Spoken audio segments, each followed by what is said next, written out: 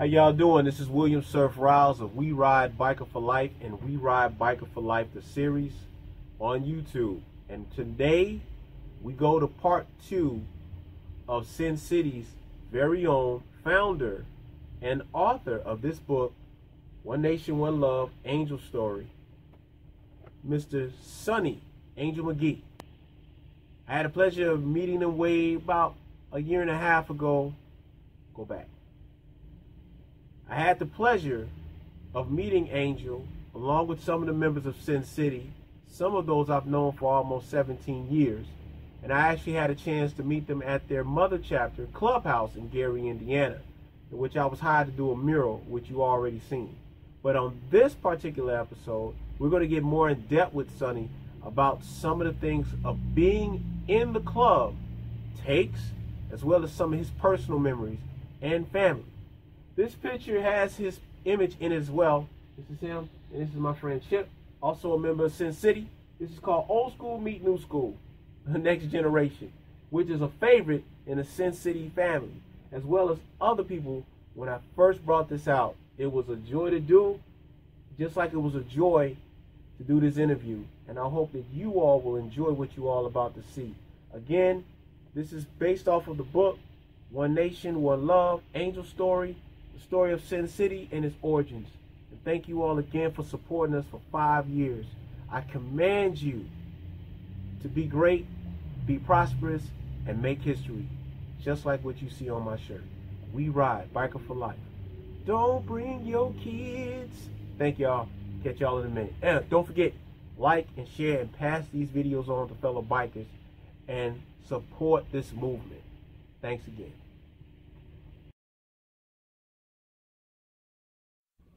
Attention. Attention. This is a We Ride Biker for Life music ride special mix. Let's get get get get get get. This is a journey into sound. This is a journey into sound.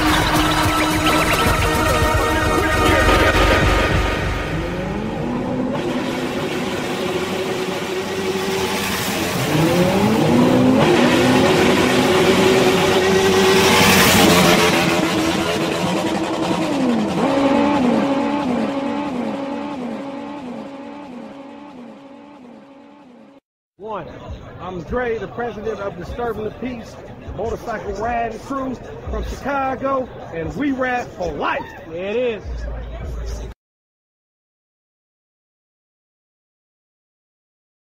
We can start this club. I do what I can for you. What are you going to call it? I've been thinking about the colors, not the name. Colors? Yeah, colors represent a club. We need colors. Colors more than a name? The colors and the name go hand in hand on the same insignia. But I did read an article in school last week about Gary. It's called Home, the murder capital of the world, a city of sin. I couldn't shake that from my mind. Murder capital, city of sin. They think we come from a city of sin. Disciples from the murder capital of the world. Who wrote the article? National Reporter? So people all over the country think Gary is a city of sin. Yep, Gary's is Sin City. We are from Sin City and disciples of a city of sin. And just like the idea, the name came big. I told Bud, that's it. Sin City Deciples. How are you spelling disciples? If you spell it D-I-S-C-I-P-L-E, then you're talking about Jesus disciples. You might want to check into that. You got a point. Well, we'll go with D-E-C-I-P-L-E-S. That way we are original.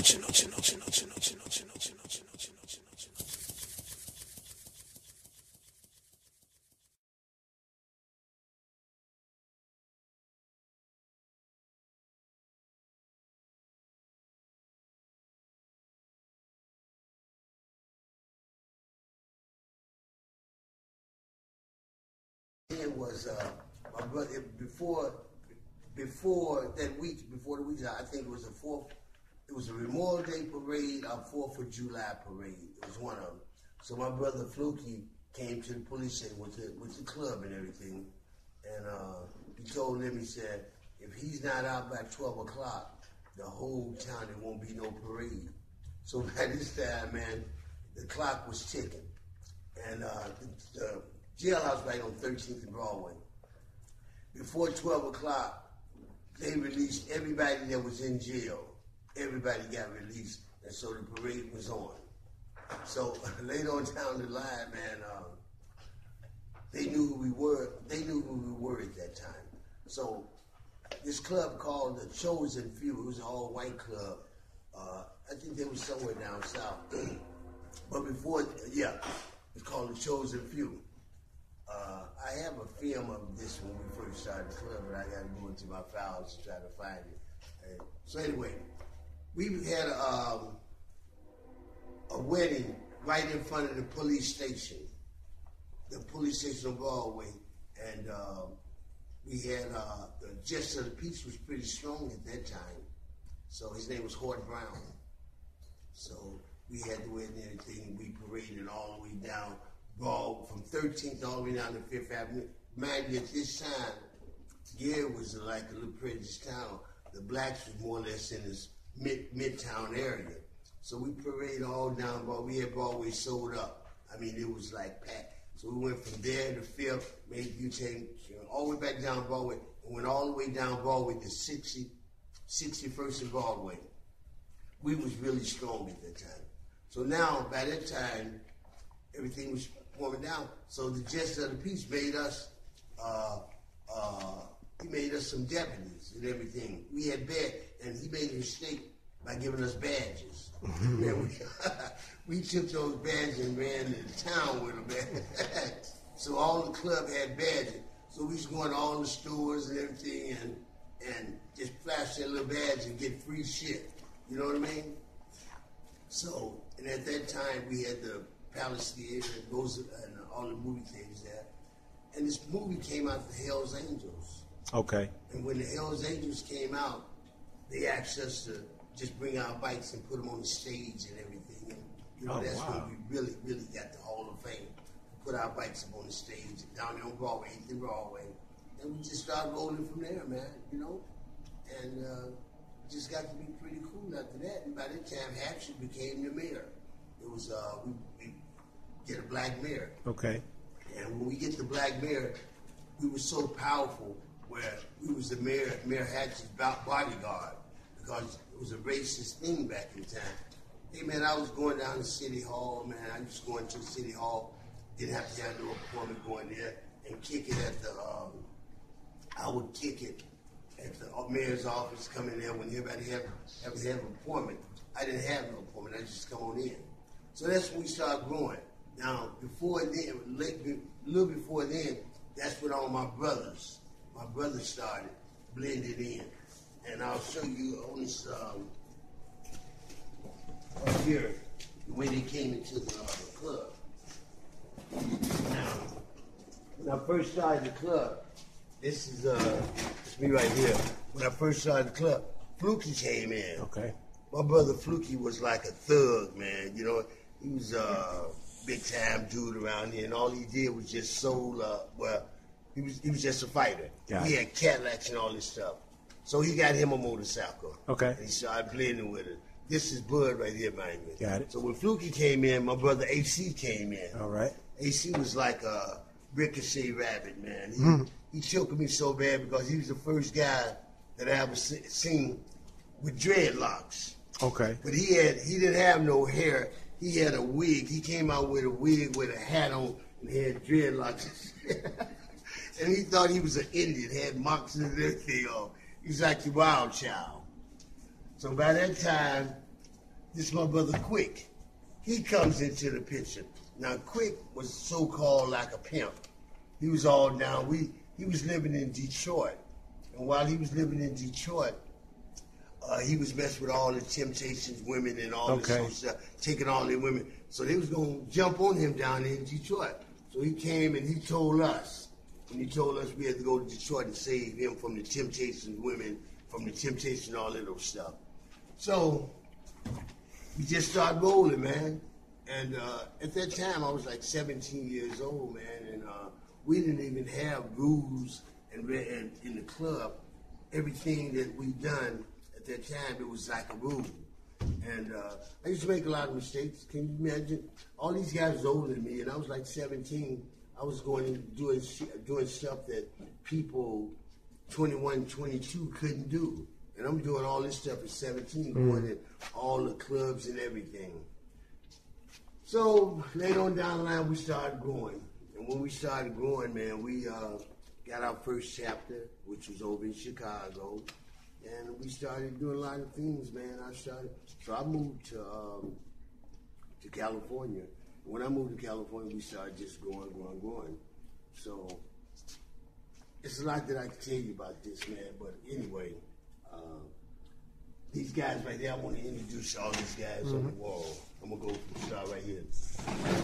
This guy here was Raw Red. Raw Red was a young guy just got out of jail, and he was like my son, man. I thought that he was real cool. This is Raw Red. I brought him into the club. This guy right here is Short Dog.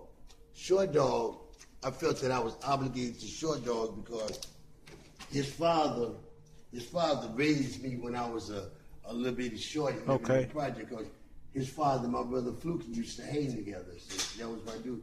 He got killed, unfortunately. This guy right here is called Cornbread.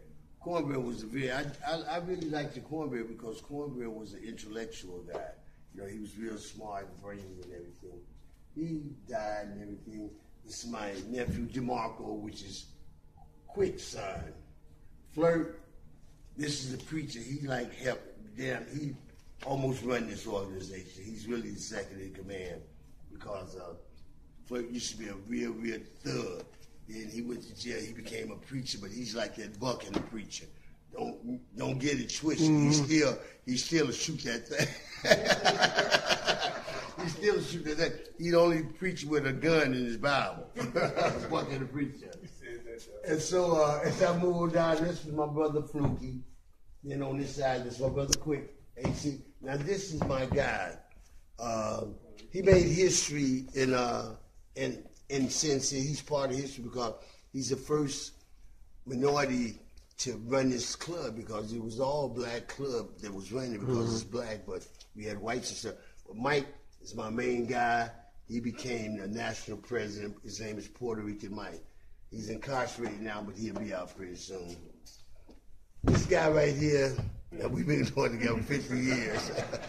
it's funny about him because before he got in the club, uh, well, I'm, I'm, I'm skipping around because I used to be a probation officer. I got to be a probation officer because I got uh, I got in some trouble when I was 17 Okay. in the bike club, and uh, I had never been to jail before. And the judge, he arrested us. This one we had with Young Sin City. He gave me an option. He said uh, I was scared and everything, and it was just a traffic ticket. He gave me an option. Said, "Why don't you change the name to Love City Disciples?" I said, I started laughing at him. He said, "You know, I'm gonna do your favor." He said, "Why don't you go to college just like that?" So by the time this was uh back then, uh, in yeah back back then, I said, "Dang, that sounds good. I'd rather go to college than go to jail." So I went to college and everything, and when I got out, I became a probation officer. The club wasn't nearly as big when I got out, but when I get out, I was a probation officer, and I was still Sin City. And by me being a probation officer, all these guys in Gary, they used to get arrested and stuff, and the judge said, go there and talk to Mr. McGee. This particular time, this guy right here, Booney, I was liking this girl, and uh, he started messing with the girl. You know, I'm a young dude, man, because I was bashful then, but when I got a girlfriend, I wanted to cherish her because I had never had a real girlfriend. He started messing with the girl. And so he come to court, and I see it was Booney. So the judge, the judge put him on probation under me. And when he put him on probation, I tried to send his ass to jail. I revoked his probation. and this, this is a true story, man. So this is one of the only guys, man, in the in the and I guess in the history of the United States that the judge gave him probation life under me. So whenever I want to, I'm gonna provoke his probation. So that was true. Yeah, that's true. Whoa. Okay. this guy right here is General Bone. General Bone, I, uh, he was he wasn't in the club. He came in and he uh, he was a uh, just a sport bike rider. He used to like that speed and stuff, man. That's General Bone. This guy right here is uh, Big Shot, but we call him the Pope because he was the only one when we was on when we was on Broadway that kept the clubhouse open. You can go any time of the day, he would be there all the time. And the guy on the end is Kuda.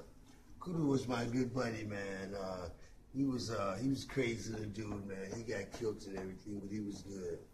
But um, we did a lot of things when I was young and everything, and um, had a lot of fun. Like I said, I was a probation officer, and at one time, everybody in Sin City. That's how I started recruiting the guys in Sin City. By being on, by me being a probation officer. Yeah, I was a crooked old probation officer. I am admit. Hold right there. We're gonna pause right there. That's good. The Diamond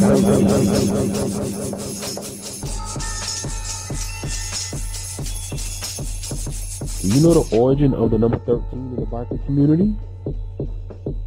Well, the Diamond 13 originates in the 1930s as an anti-AMA patch. AMA stands for American Motorcycle Association. The early outlaw clubs used to show that they had nothing to do with the AMA clubs. The AMA tried to take over the racing and club scenes with rules and regulations. A lot of clubs didn't like that. The Southern California Outlaw Federation awarded a trophy to the top 13 outlaw clubs. And outlaw here means racing, not under AMA rules. That's all. Nothing criminal or illegal was involved in these outlaw clubs. The AMA called any club not sanctioned by it outlaw at the time. Now in the 60s, when the one movement started, the 13 on this patch was changed to a one percenter. But the diamond shape was kept because it already stood for anti-AMA movement. When new clubs emerged, they basically copied the symbols of older clubs, often without knowing the true meaning, and just used what they thought it meant. Today, many clubs use 13 or an M, which is the 13th letter of the alphabet, and give it all kinds of meanings. Mainly, the 13 or M stands out for mother, as in mother chapter, as well as other terms that people use nowadays. For more information on the history of the 13th Diamond Patch, go to wikipedia.com. On behalf of We Ride Biker for Life, thank you for tuning in. If you have any interesting subjects that you would like for us to pick up and speak on, hit us up now on our Yahoo page.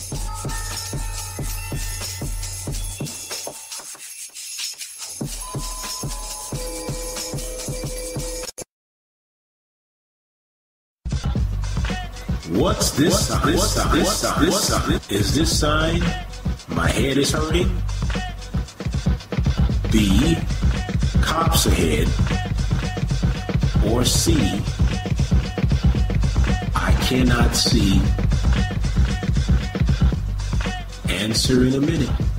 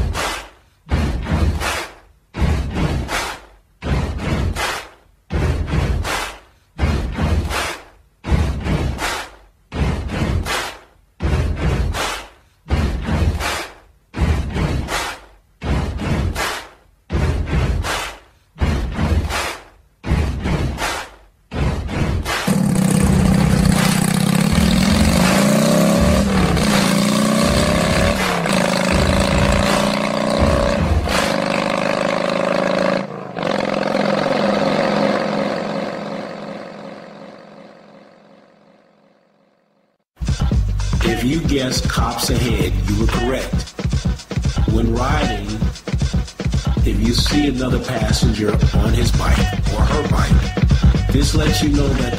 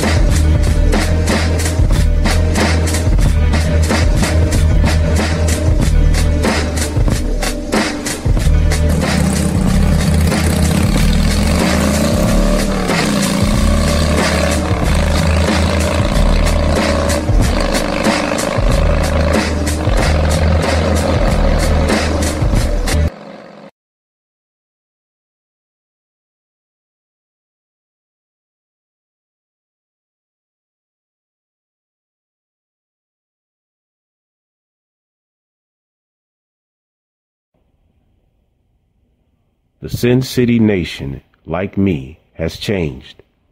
We are no longer a hog only club. Sports bikes are charging us into the future. One man cannot lead a nation. A true leader surrounds himself with smart, helpful people and allows them their expertise. Sin City hasn't grown from my thinking alone. Others, ideas, plans, and visions contributed to us being a nation. Yes, the baby was mine, but the village raised him and is raising.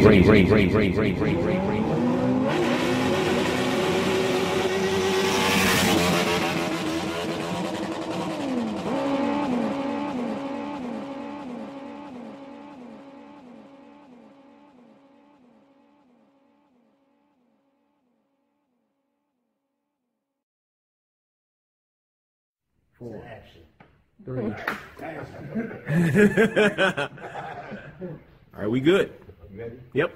Okay. when I was talking about Puerto Rican might be the first uh, minority Puerto Rican to run an Right. organized nation.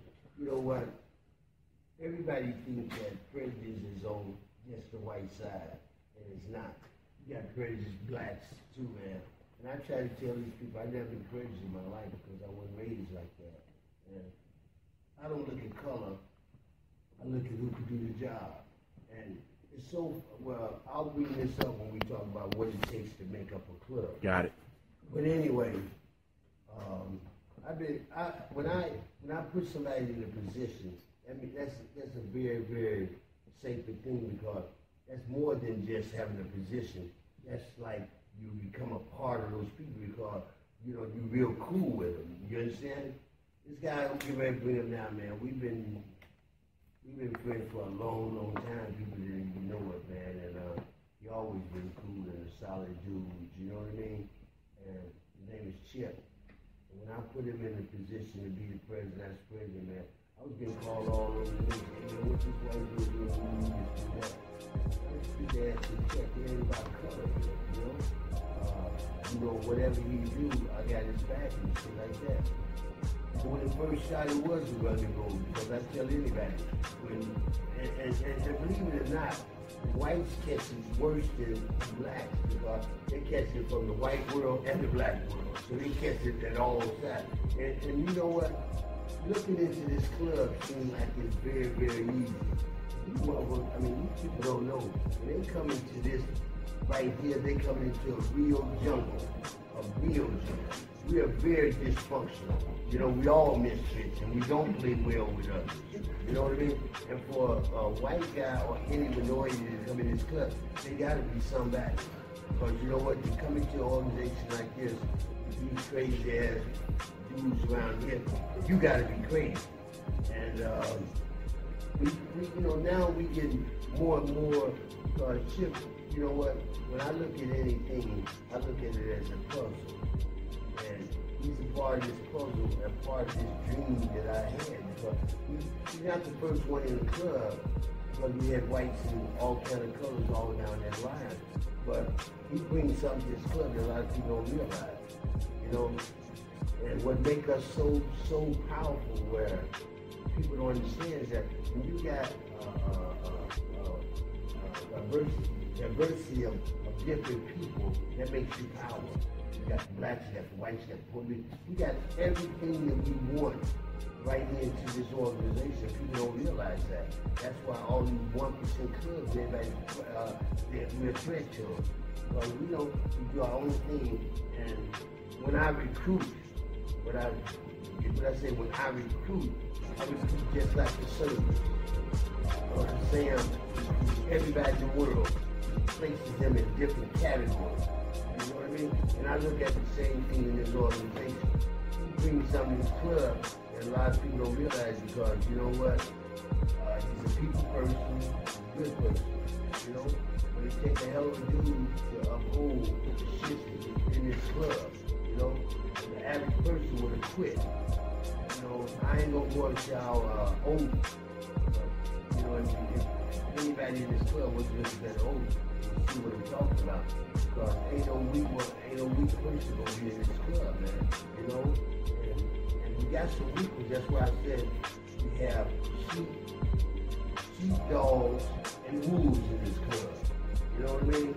And I'm a sheepdog, and I got a crew. My staff is considered sheepdogs because we do protect these weak ones in the club. But like I said, once again, everybody in this club has a purpose.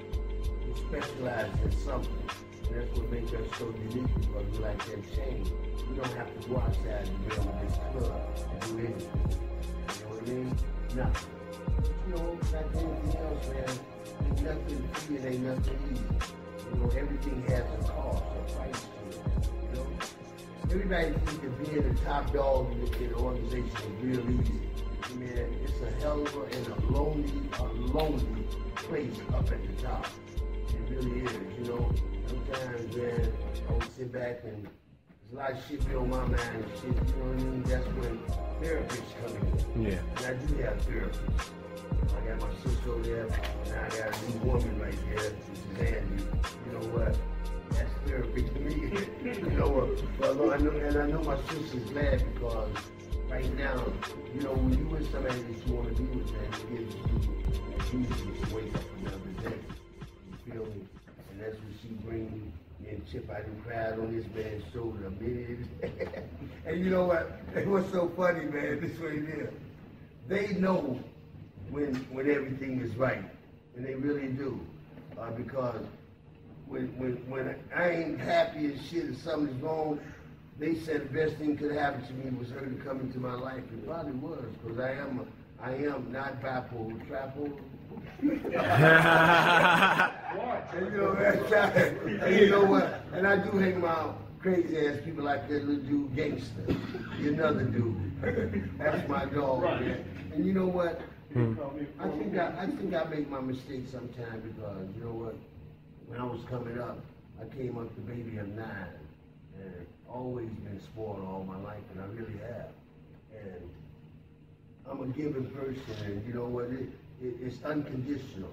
If I come to you 100, give me the same thing. Don't give me 99. I ain't gonna settle for it. And I'm saying this to say, I got a lot of people in this club, but people tell you, I love everybody in CC, but it is a clique in this organization.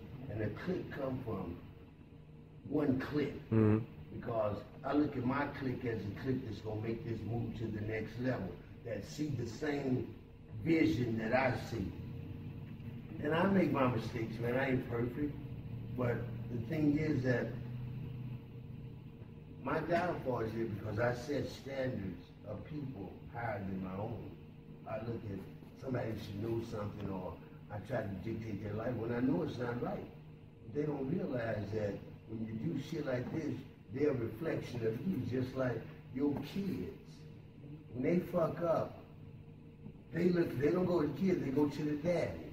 And so even with hanging with people every day, if I'm hanging with somebody and they I'm going out there doing something bad, they saying, Oh, that ain't him, that's so and so because I'm a reflection of you. And all these people in this organization, man, my God, we a reflection of each other. But you know what? Some people take it to the extreme where they don't care. They got that one way and just one way only. They don't have a vision. They can't see no farther than this.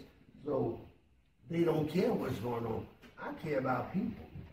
I used to care about what people would say about me and do.